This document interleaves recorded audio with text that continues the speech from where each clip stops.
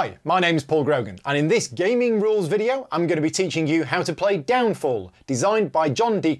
And published by Tasty Minstrel Games. Downfall is a game set in the future, after a nuclear war has devastated most of the planet. You will be waking survivors from their cryostasis bunkers, scrambling for what remains of the resources left on the planet, rebuilding your technologies, and trying to survive. Now, this video has been filmed using a prototype copy of the game, so all of the components that you see here are not final. And also, some of the names of the things that I say in the video may have been changed before the final version gets released.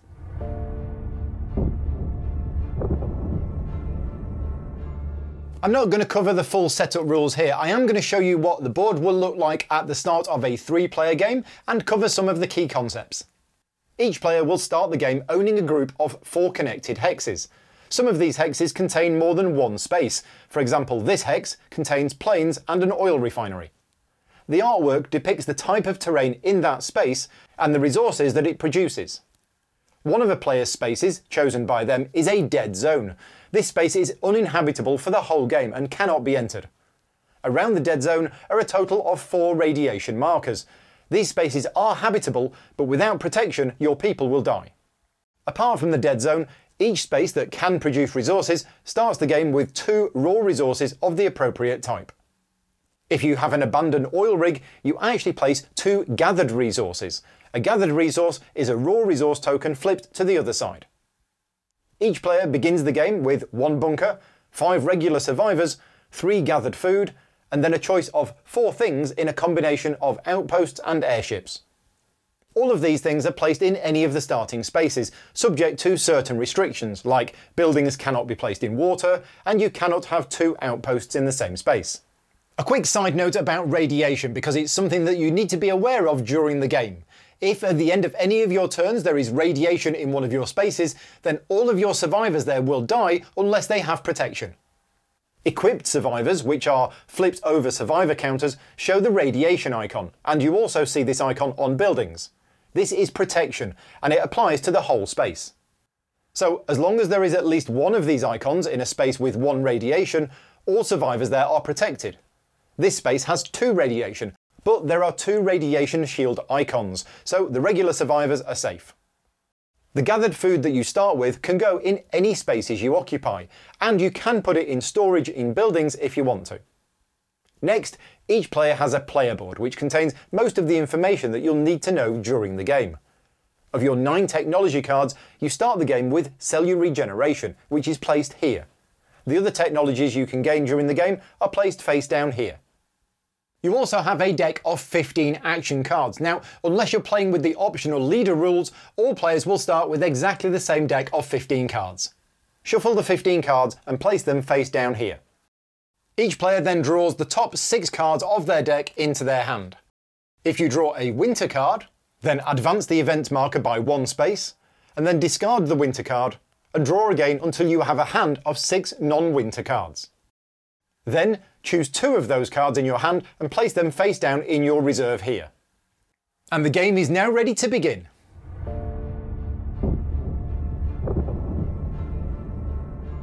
The game is divided into rounds and each round is divided into phases. In phase 1, each player draws one card from their deck into their hand. In the first round of the game, you would actually skip this phase because you already have four cards in hand, but in later rounds you will draw another card to bring your hand up to four, and if you draw a winter card, then just like in setup, you would place it in your discard pile, advance the event marker, and then draw a replacement card. Phase 2 is pre-action events, and you look at the event track for any red or brown spaces that the event marker has landed on or passed over this round.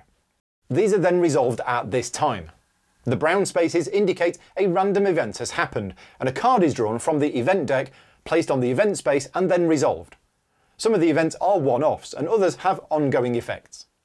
The red spaces are conflict, and I'll explain this later on.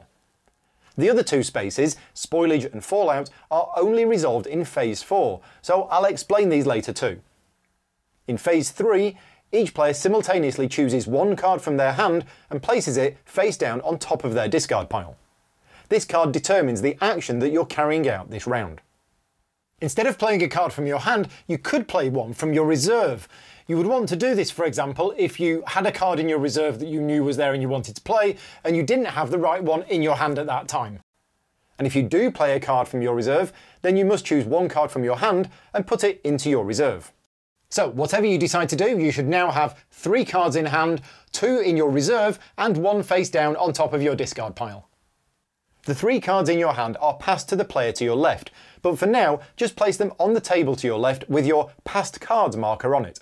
At the end of the round, the player to your left will pick them up and put them into their hand. Once all cards have been played, it's time for Phase 4, where the actions are resolved. Each player reveals the card they played, and then the players carry out actions based on their card. Often this can be done simultaneously, but if turn order matters, players will take turns in order of the initiative value on their cards, with the lowest number playing first and then in ascending order. After all actions have been carried out, it's time for Phase 5, which is where you resolve the spoilage and fallout events on the event track that I mentioned earlier. So, the sequence is draw a card, then resolve the pre-action events of conflict and random events, then everyone plays a card, which is then revealed and players take actions. And then you resolve the post-action events of spoilage and fallout. The game ends when the event marker reaches the final space, and then the victory points are counted and the player with the highest total wins the game.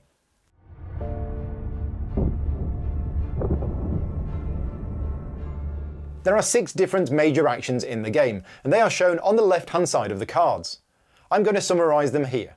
But before I do, I'm going to briefly mention minor actions. You see, every card also has a minor action listed at the bottom, and when it's your turn to resolve your card, you can do the major action on the left or the minor action at the bottom.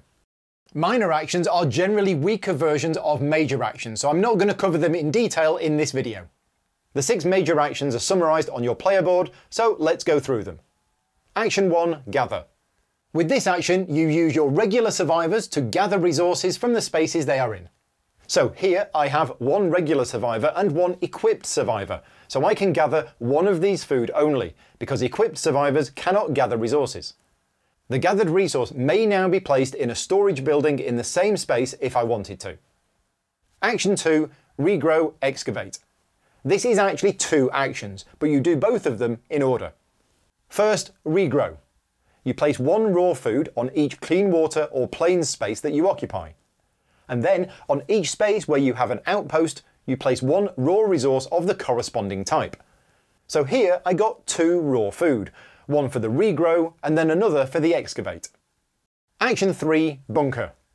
When you choose this action, for each of your bunkers you choose the following. Either place a regular survivor on the same space as the bunker, this represents that you've woken somebody up from cryosleep, or place one raw stone, metal or oil onto the space.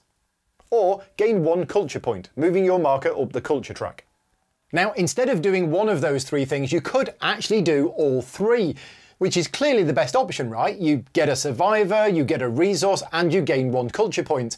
Well, there are some times in the game where you might not want that additional survivor, so in this case you will either just choose to gain a resource or gain one culture point.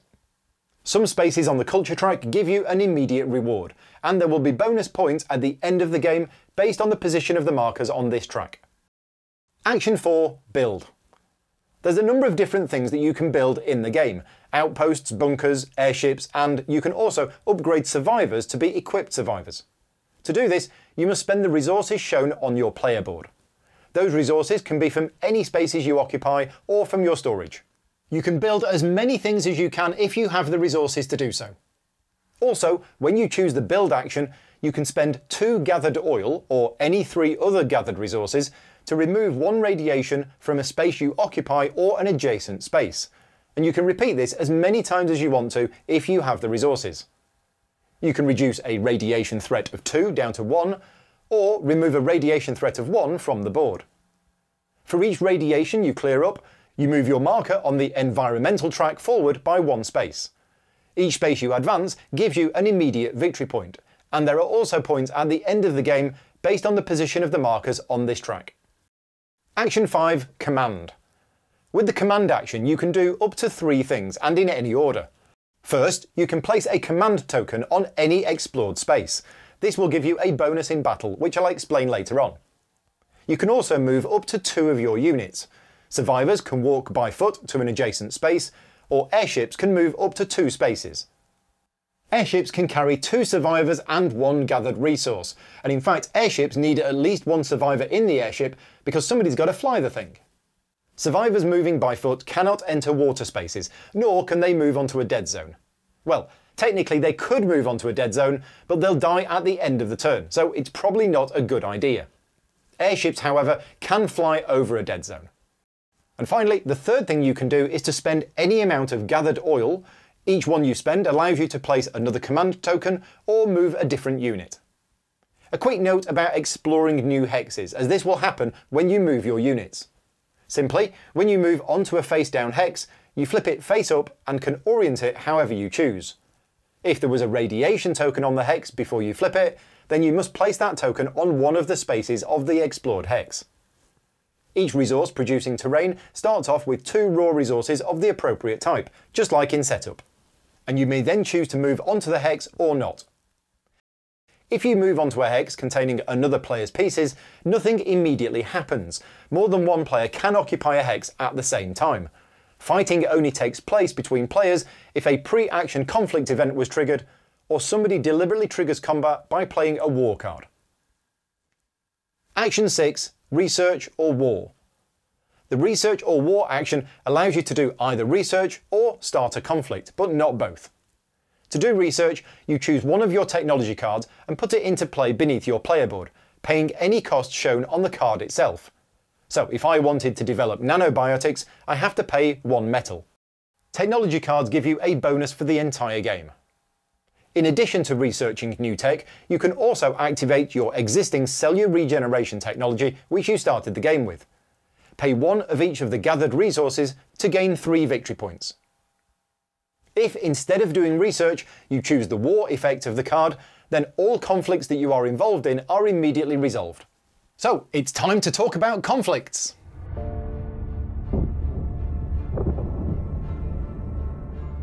As mentioned earlier, conflict between players takes place in one of two circumstances. Either a pre-action conflict event has triggered, or a player plays a research war card and goes to war. I'll cover the conflict events first. When a conflict event is triggered, each space on the board is checked to see if there is a conflict. Conflict happens if two or more players occupy the same space, and both of them have at least one battle strength or survivor on the space. Battle Strength is the small explosion icon found on equipped survivors, bunkers and command tokens. In this case, blue has 2 battle strength and pink has 1. The winner is the one with the highest battle strength, and in case of a tie, nothing happens. The winner scores 2 victory points, but the loser still gets 1 victory point. The winning player may then convert any one outpost, bunker or airship involved in the battle to their own, or kill one of the losing survivors. Any remaining losing survivors in the space are moved to an adjacent space, chosen by the winning player. If there were no conflicts anywhere on the board, then there is peace, and all players gain one victory point for every two spaces they occupy. And if you occupy an odd number of spaces, then you can pay one gathered food to round up the victory point gain instead of rounding down. At the end of a conflict event, even if there was peace, all command tokens are removed from the board. If conflict is triggered due to the playing of a research war card, then only the spaces on the board that contain the pieces belonging to the player who played that card are checked to see if there is a conflict. And if that player is not involved in any conflicts, then there is no peace. The peace option only applies when a conflict event is triggered from the event track. Also, if a conflict happens due to a player playing a research war card, then the command tokens on the board are only removed from spaces where there was a conflict.